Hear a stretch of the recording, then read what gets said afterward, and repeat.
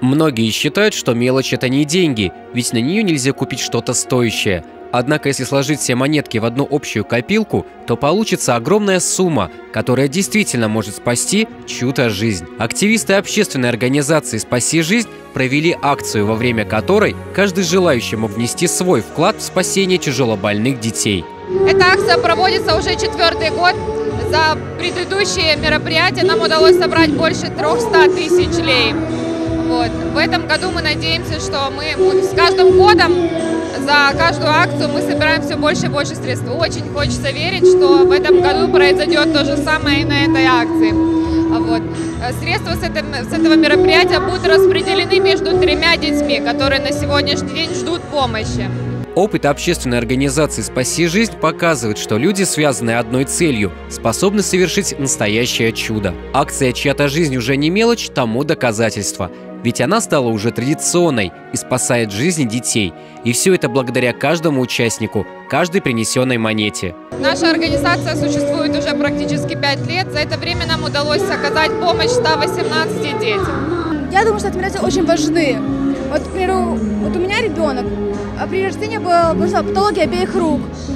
Ну, мы не в состоянии были оплатить э, обе операции. Это, знаете, помогла нам собрать деньги. Это, это помогла дать новую жизнь моему ребенку. На призыв активистов общественной организации «Спаси жизнь» откликнулось огромное количество людей. И что особо приятно порадовало, свои копилки с мелочью принесли и дети.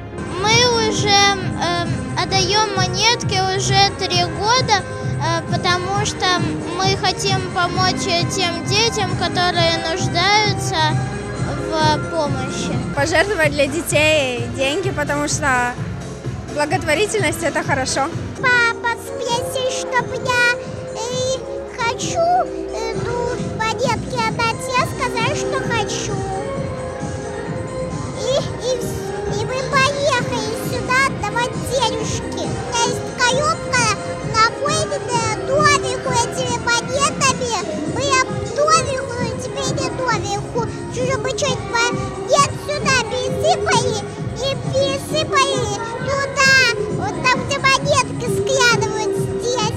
Во время проведения акции любой желающий мог прийти в торгово-развлекательный центр, принести накопленную мелочь, прекрасно провести время, а самое главное – помочь спасти жизни детей. Каждый раз, когда это мероприятие проводилось, мы всегда участвуем.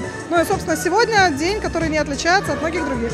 Я пришел, чтобы поддержать, э, для того, чтобы как можно больше мы смогли помочь больным деткам. Мы участвуем каждый раз. В прошлый раз принесли и начали заново собирать. Все наши клиенты нашего центра, студенты нашего центра к этой акции приобщаются. Как показывает акция, только общими усилиями можно спасти детскую жизнь.